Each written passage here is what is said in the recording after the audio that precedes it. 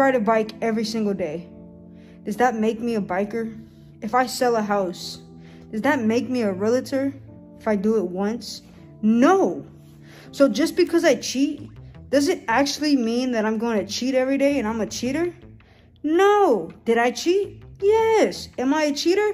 No! Y'all, what is up? Welcome or welcome back to my channel. It's your girl Wildflower Tea, and today's video is going to be a little bit different than my normal content, but honestly, not too much. Let me explain. So there's a channel out here by the name of Keeping Up with the Najms. I've been watching this on and off for about a year or so, and I've talked about it in many different live streams. Essentially, this whole channel is nothing but a reality TV show just here on YouTube. And it's ran by two young women by the name name of Laura Najm, who is the original owner of the channel, and her girlfriend slash baby mama, Narally Morales. These two young women have found a way to profit off of these dramatized scenarios that drags the audience in wondering if these situations they find themselves in are real or not. They have posted some pretty wild and outlandish content. They have done it in a way to where it leaves the audience coming back each week wondering what's going to happen next. Like I said before, I have been an on again, off again viewer because there have been times where they just went a little bit too far for my likings. And for those of you who have never seen any of this content, of course, I will pop in some clips here. That way you can see the context of what I mean. The channel itself started off as a couples channel between Laura and another girl by the name of Makayla. They were together for over three years and they made a lot of couples content, different vlogs, pranks, challenges, is. And from that content, they gathered a pretty decent little following. Then over a year ago, Laura started stepping out doing things with other women, and that is when we got introduced to Narally. From there, all hell kind of broke loose, and it went from being a semi-genuine channel to I don't even know what you call it. What I do know is that this Laura chick really found a lot of entertainment out of stringing both of these ladies along, and it happened for several months. It's not Makayla's fault.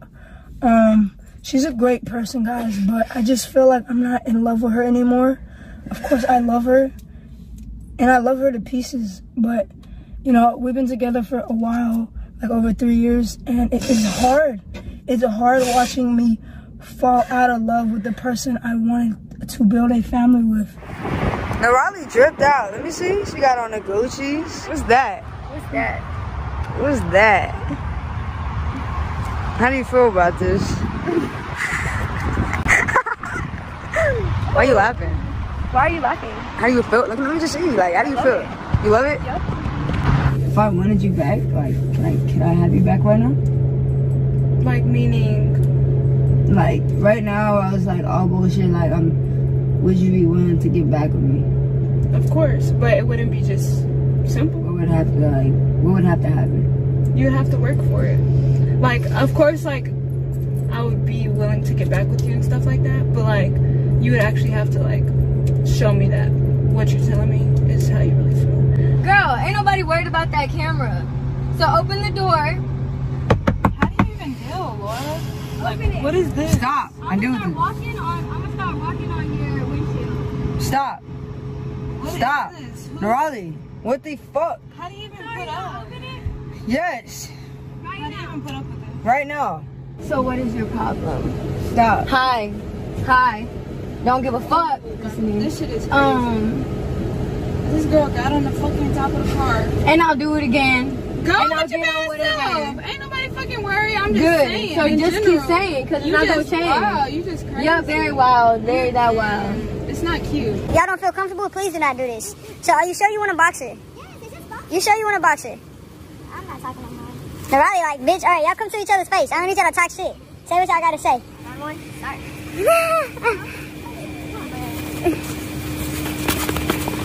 I'm not going to play much of that because, in my opinion, it's just pure insanity. But you can see that Laura, the one behind the camera, eats this stuff up. She loves to see these girls fight after her, and she for real played with these girls' emotions for her own personal entertainment and the public's as well. I will say, when it comes to Narally and Makayla, I believe a lot of this was genuine, especially in the beginning. They were fighting for this girl. And you can tell that they are younger adults. So, as childish or immature as it may be, this is how the channel turned into what it is today. So after several months of dealing with this emotional manipulation and being treated this way, Makayla did finally go her separate way. And she is out here, you guys, living her best life. She's happy, she's healthy. I will leave her channel down below because it's a whole different vibe. And I'm so happy that she was able to get out of this situation because let's be real about it, this is toxic. There's not enough love or money in the world to make me want to live like that. After Makayla decided to leave this situation, it was just and Narally. And by this time, Laura had already gotten a taste of just how much money she could make off of this type of content. So naturally, she wanted to keep the drama rolling in. And the saddest part about this whole situation, plus the biggest reason why I want to talk about it here on my main channel, is when it comes to Narally, this girl is loyal and committed to Laura and her happiness on another level. Going as far as getting her name and Laura's face tatted all over her body, playing along with these little games that Laura wants to play. At one point, she was allegedly dating not one, not two, but four different women at one time. And last but most definitely not least, you guys, Narally went through the whole IVF process to have a child with this girl. And this is my whole issue with this channel. While some of it may be fake and just for clicks and views, some of it is real. And as the audience, it is hard to weed through what's reality and what is fake. I could only imagine being Narally. Here she is, six, seven months pregnant, playing along with Laura's petty little ass games while she runs around with three or four different women at a time. And Raleigh believes, oh, Laura's just doing this to make content on their channel and provide for them as a family. Nothing's legit about it. Meanwhile, Laura is using all of this as a scapegoat to do whatever the hell she wants to do and is actually catching feelings for these other women. And I'm sure a lot of you guys have heard the saying, once a cheater, always a cheater. So because of that, I'm not surprised by Laura's actions. And I have definitely felt some type of way about Narally too in the past. But at the end of the day, nobody deserves to be treated that way, especially the mother of your child. Once you make the decision to have a family with someone, it becomes about that baby. It's no longer about you. And my friends, that is exactly why I personally stopped watching the channel because the selfishness, greed, and emotional manipulation is so real. When I say that I am just barely skimming the surface of the craziness that has went on on this channel, y'all, that is an understatement. But ironically, about five months ago, the channel went completely silent. There was no drama, no more craziness happening. And the next thing you know, Laura and Raleigh are coming back, being honest with their audience about the fact that a lot of their content was dramatized. And although some of it was real, a lot of it wasn't. They also said that they would be skimming back on the drama and changing their content to something more family friendly. And they seem to be genuinely happy together. They started posting a lot of family vlogs, and surprisingly enough, the views on their channel did not seem to be negatively affected by this change. It appears that their audience was over the fake dramatized mess as well and wanted more authenticity from them. And just last week, they did welcome their sweet baby boy King into the world. Everything seemed to be going great. Both of them have been adjusting to motherhood, and Narally has been on cloud nine, literally having all of her dreams come true. And this should be the end of all that craziness and the beginning of their real lives, learning and growing as women, and most importantly, as parents, because let's be real, that's a full time job. But y'all, I swear you cannot make this stuff up. With less than a week of parenthood under their belt, everything comes to a head yet again. She went on a business trip somewhere. I'm not gonna just sit here and like talk about where she went in her business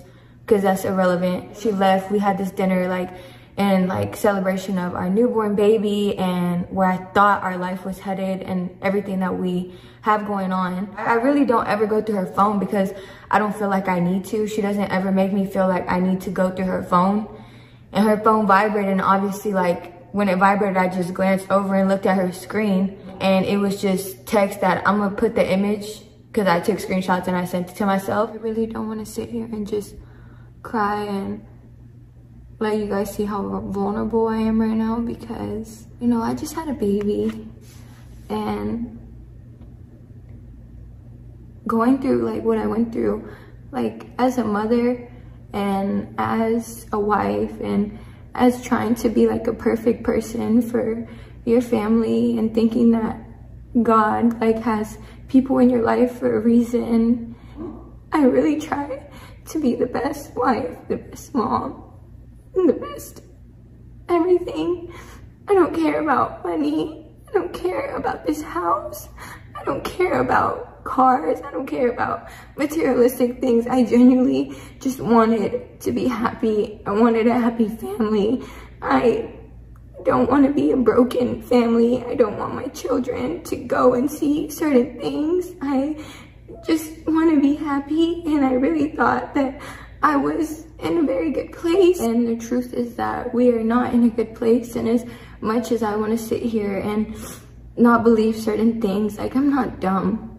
I'm not dumb. And I know what I saw. And I just feel very disrespected because I didn't have a baby for Laura. I didn't have a baby. Like, I'm not gonna sit here and like say, oh my God, like this woman just, I feel disrespected because I had a baby for her. No, I had a baby for our family. I had a baby because it's what I wanted and I will always be a great mother, but I just feel very disrespected. Tell me during labor and tell me during just the whole last two years of us being together that they love me and they want the best for me and they're on my team. It's like disrespectful. Baby mama drama is how I'm feeling right now. I don't know what's going on, why it's going on, but it's stupid and it's bullshit. Trending on TikTok, all over YouTube, Laura's a cheater, Laura's a cheater, Laura's a cheater. I promise y'all I am not a cheater. Those messages that my baby mama found, I don't know, man. I'm like so sad and depressed right now because I feel so bad. I actually will go ahead and FaceTime Ashley when I get up and get ready to leave from here. But again, y'all, I just want to say I'm sorry. And hopefully when I FaceTime Ashley, y'all will understand that we are just friends. Baby mom, you watching this, please get off the internet. You have to understand, these people are just laughing at you. These people don't care about you. You know, you think you take your problems to the internet and it solves it. All these people do is they're happy that you feel miserable. They're happy that this is going on with us. They are happy, babe. They don't like this. So please, stop. Hello? Hello? What's up, mama? What's up? Where you at? Right now, I'm here uh, running some errands. Where you at? Oh, I'm doing the same thing. I just got off work. I'm recording right now, so basically, like, you know those messages that she has seen, like, our screenshots and shit? Yeah. Like, I told her, like, you know, it wasn't all that. Like, I mean, they trying to say, like, I'm a cheater and shit. Like, right? Like, we don't be fucking with each other like that, huh? I mean, your fans. Not like that, man, but, you know what I'm saying? Like, like I told you, me and her don't even be with each other like that, you know what I'm saying? So, like, her going on the internet doing all that shit, like, she being extra, you feel me? She really on the internet crying and trying to play like this, like, I'm cheating, I'm cheating type shit. Like, me you don't even be, like, fucking like that or nothing, you know what I'm saying? We just friends, you feel me? I mean, that's not what you were telling me the other night. Hell nah. Look, look, look, listen. I'm, I'm gonna cut this part out. Just, hey, I need you to say that we're just friends, though. Just for the internet. You know what I'm saying? I'm gonna cut that part out. No, hold on, hold on, hold on. So you want me to say that we're just friends and then say that other shit afterwards? Yeah, yeah, just say, uh, we're friends. So that way, like, on the internet, they don't think, like, we actually fuck with each other. Alright. Alright. Like, so, like, I see all these people on the internet and shit, like, you know, they say, like, we fuck with each other and shit, right? We just friends? Yeah, we just friends. Ain't not more to it. Like, Yeah. tell them, man, like, I'm recording right now, so. I can let all of them know that we friends. Exactly. I Exactly. just cannot contain myself because Laura thinks that this is a game. Like you think that this is a game, you think it's cute, you think it's funny, and you're not. What you're not gonna do is come on here and make me seem like I'm like crazy and I'm just this whack woman who's just coming on here to, to, to make things up and make myself look stupid. You block me, right? You block the mother of your child. You block your wife. The the woman that you claim that you love and that you want to have a family with, you block me. You block me. You can't have even the decency to sit and have a real conversation with me about your actions that have broken and crushed my soul. And on top of it, it doesn't help that I just had a C-section, which obviously is like after you give labor, after you give birth, you're just more sensitive to things. All of you guys sitting here saying, oh, no, um, Narally or uh, the Najm family channel is sitting here trying to make stuff for clout, It's sitting here trying to make stuff for views. First of all, nobody needs clout or views because everybody knows who we are, point, point blank period. Nobody needs to sit here and, and make stuff up. No, I don't have to do that. And secondly, I just told y'all a week ago, I thought that we were going to have a family channel. I thought that we were going on the right path. I thought that things were changing. Do I want to post this? No, no, I don't want to post shit like this at all on my, like, on my life. I do not have nobody to talk to. I don't have no one. It is a really messed up and sad situation, but what is even sadder is now there's a child in the mix of all of this. And that's the main reason I wanted to talk about it because normally I would not bring any more attention to a channel of this nature. What makes it even worse is because of the way that they have manufactured their channel with all of this dramatized BS. Their audience questions everything they put out because of the way that they have done things. So when Narally sits there and says, oh, people think we're doing this for clout and it's fake and it's not real. We don't got to do this. People know who we are. Absolutely, people know who you are. But why? Because of the clickbait content you guys have put out. Now she's sitting here. She has no one to turn to. She's literally sacrificed her whole family, her friends, everybody for Laura. And as sad as it is, at the same time, this is the repercussions of what happens when you decide to run a channel in that way. In saying all of that, I do not feel like anyone deserves to be treated this way. And if it is real, man, Laura really should be ashamed of herself. The fact that you're doing it alone is messed up, but to do it right after the mother of your child gives birth to your child, I really don't think it gets any lower than that. Furthermore, that sweet little innocent baby did not ask to come into this situation or to be in this world. The day that you decided that you wanted to have a family was the day that your selfish needs and wants went out the window. If you are selfishly going to do whatever the heck you won't, not giving a crap what it's going to do to that baby as that baby grows. That baby is better off without you in their life, causing mayhem and issues for them as they grow up. I truly do hope that this is fake and all for clout for the sake of that baby. And I know that this may sound like very harsh opinions, you guys, but this comes after watching Laura's latest response to Narally, and it is just, honestly, I'm speechless. I'm gonna just be real with y'all. So if y'all ready for me to keep it real, that I'm gonna keep it real. I don't care if y'all gonna call me a narcissist. I don't care if y'all gonna call me a cheater, a liar. I'm gonna just be honest. I'm gonna just be real. And if you're not, if you aren't ready to hear the truth, you're on the wrong page. Did I cheat on Narally? Yes, I cheated. Am I sorry? No. The reason why I say I'm not sorry is because before I met Narally, she knew what kind of person I was. She knew I was already a cheater. She knew I had different girlfriends. She knew what type of person I was. Some days I like boiled eggs. Some days I like scrambled eggs. But do I eat boiled eggs every day? No. You know what I'm saying? Some days I want to be with my BM. Some days I don't. Do I want to be with, do I want to be with my BM every day? No. There's so much fish in the sea. I got to get a taste of it, all of it. You know what I'm saying? I don't think cheating is cute. Do you know how many people cheat? It is very rare to find loyalty these days. Why are y'all bashing me? It makes no sense. Narally knew what it was before we got together. Why did I have a baby with her? She wanted a baby with me. She she fucking begged me for a kid. You know? She like, let's do it, let's do it. You know, at first I wouldn't I didn't want a baby in the beginning, and then I was like, you know what?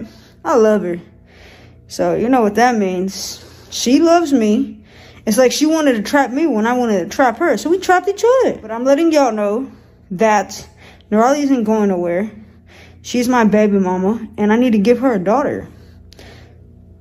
Because I love her. I went to my therapist. I talked to her. She told me that someone like me cannot be saved. She said that I need more than just a therapist. She told me basically that I'm like a piece of shit. Moral of the story, if I ride a bike every single day, does that make me a biker?